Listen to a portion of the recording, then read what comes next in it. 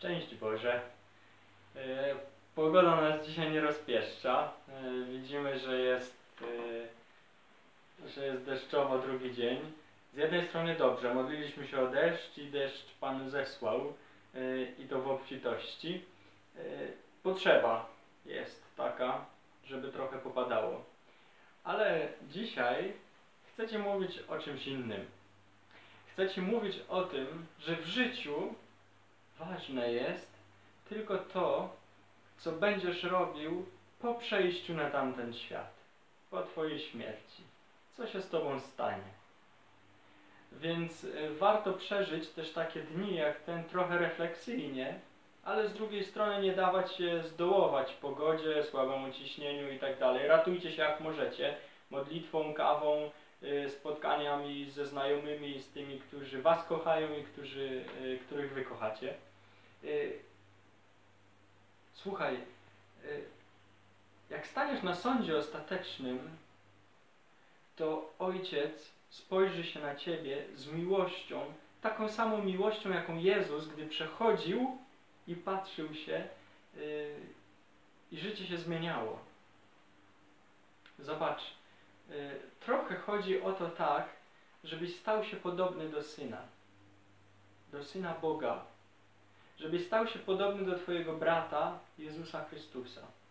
Żeby Bóg, patrząc na Ciebie, mógł zobaczyć w Tobie Jezusa Chrystusa. Mógł zobaczyć w Tobie oblicze Jezusa. Chodzi o to, żebyśmy nie upodabniali się do różnych świętych, do Matki Bożej, do jeszcze innych yy, jakichś osób, które nam, nas fascynują, którymi jesteśmy y, jakoś y, zauroczeni.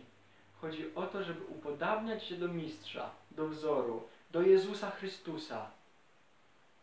Jasne, Matka Boża najbardziej podobna do Niego, która najbardziej ma wyryte oblicze Ducha Świętego Jezusa Chrystusa w sobie, może być świetnym wzorem, świetną świetnym podręcznikiem. Ja bardzo lubię mówić y, takie określenie, że Maryja jest legendą do mapy Jezusa Chrystusa.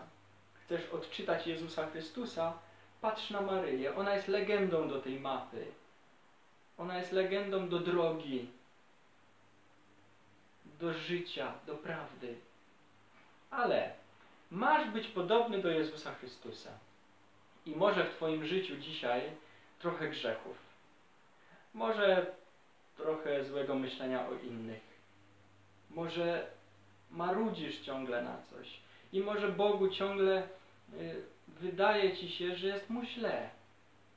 Bo może ciągle popadasz w te same grzechy. Może już jesteś bezradny. Może ciągle masz ten smutek w sobie. Może ciągle coś się dziwnego dzieje. I sobie myślisz, niepodobny jestem do Jezusa. I zaciemniasz sobie obraz Ojca i staniesz przed Ojcem y, i stwierdzisz, że nie tak Go sobie wyobrażałeś, że nie taką miłość w życiu y, przyjmowałeś, że nie takiej miłości w życiu się uczyłeś. Zrozum to, że Ty też musisz zobaczyć Ojca, poznać Ojca. Filip mówi, Jezu, pokaż nam Ojca. A Jezus mówi, kto patrzy na mnie, widzi i Ojca. Rozumiesz, że musisz trochę zakontemplować Jezusa, musisz Go wprowadzić do swojego życia, żeby Twoje oczy otworzyły się na to boskie działanie, żebyś widział miłość w życiu, żebyś widział radość w życiu, żebyś poznawał Ojca, żebyś poznawał Jezusa, ale taki, jaki On jest naprawdę, a nie taki, jak niektórzy chcą przekłamać. Że Bóg to tylko patrzy, kiedy się potkniesz, żeby Ci wytknąć grzech, żeby Cię nie wpuścić do nieba. Nie chcę znać takich ludzi. Nie chcę znać takich ludzi, którzy tak mówią. Masz poznać miłość. Ale może w Twoim sercu dzisiaj jest, no poznaję tą miłość i ciągle, ciągle nie widzę. Ciągle jakoś nie mogę dosięgnąć tego szczytu poznania Boga, tego doświadczenia Boga i mówisz do Boga, Jezu, nie poznaję Cię. Jezu, boję się, że na sądzie ostatecznym nie spełnię zadania. Nie spełnię zadania. To dzisiaj mam dobrą nowinę dla Ciebie. Bo Jezus dzisiaj chce Ci powiedzieć tylko jedno. Wystarczy, że ja Cię poznam. Wystarczy, że ja Cię poznam. Chcę Ci powiedzieć, że chrzest wybił na Tobie niezatarte znamie, taką pieczęć, której nikt nie potrafi złamać, nawet Ty sam. I tam odbiła się twarz Jezusa Chrystusa, dzięki której żyjesz, poruszasz się i jesteś. Jest ciągle w Tobie, niezatarta. Więc z jednej strony bierz się do roboty i pracuj nad sobą, ale z drugiej strony nie załamuj się. Nie załamuj się, niech w Tobie będzie y, ta moc, to przekonanie, ta wiara, która jest pewnością, że Jezus w Tobie odczytuje swój obraz, że Bóg Ojciec widzi w Tobie Twój obraz i że patrzy na Ciebie z miłością. Wystarczy, żebym ja Cię poznał. On Cię poznaje. On Cię poszukuje każdego dnia, każdej chwili. I jeśli Ty Go nie poznajesz w znakach codziennych, w tym, co się dzieje, w osobach, które spotykasz, może się wydawać przypadkiem, które się do Ciebie uśmiechają, coś dla Ciebie zrobią dobrego, które potrafią poświęcić Ci czas. Czas to miłość. Poświęcić komuś czas dzisiaj. Ile ostatnio poświęciłeś dla kogoś czasu?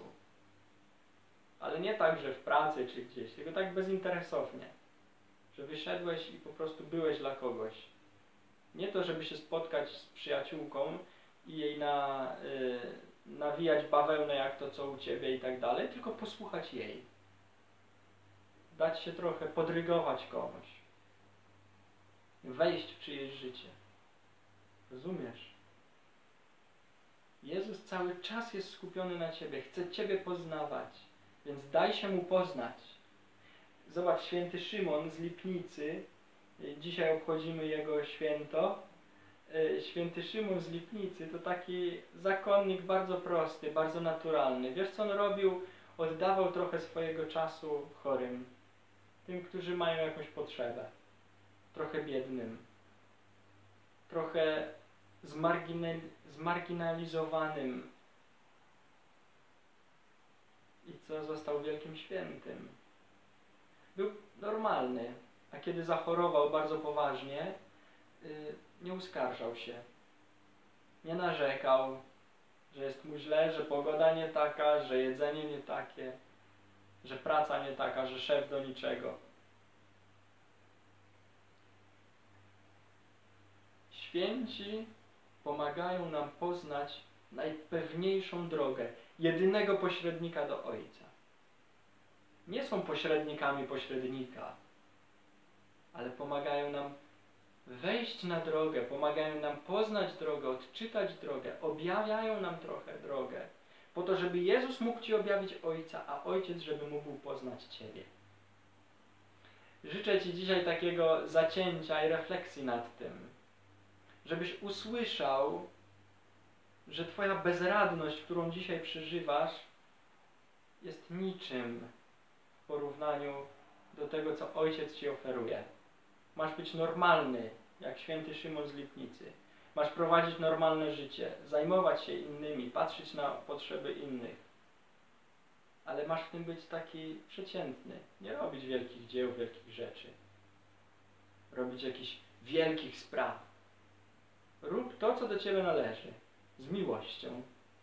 A jestem przekonany, że Jezus do Ciebie powie, wystarczy, że ja Cię poznam dziecko, bracie, siostro. Skontempluj trochę te słowa. Chciałbym, żeby dzisiaj pomyślał trochę, bo Pan wysławia Ojca, Jezus wysławia Ojca, że tajemnicę Królestwa Bożego objawił prostaczkom. Czyli to poznanie Boga jest objawiane dla ludzi prostych. Dla ludzi prostych. Dla tych, którzy prosto myślą, prosto czynią, którzy są naturalni, przeciętni, prawdziwi, szczerzy, normalni. Świętość to normalność. Zachęcam Cię do tego, żebyś skontemplował dzisiaj te słowa w pełnej prostocie. Wystarczy, że ja Cię poznam. I uwielbiaj Boga, wysławiaj Ojca razem z Jezusem dzisiaj. Niech tak nam się wszystkim stanie. Życzę Ci dnia dobrego. Niech y, pogoda Cię y, nie, nie poniża do dołu, ale rób wszystko, żebyś podskoczył. Chrześcijanin to jest ten, który idzie w górę, nie w dół, więc się nie dawaj sprowadzić na dół. Wszystkiego dobrego, szczęść Boże.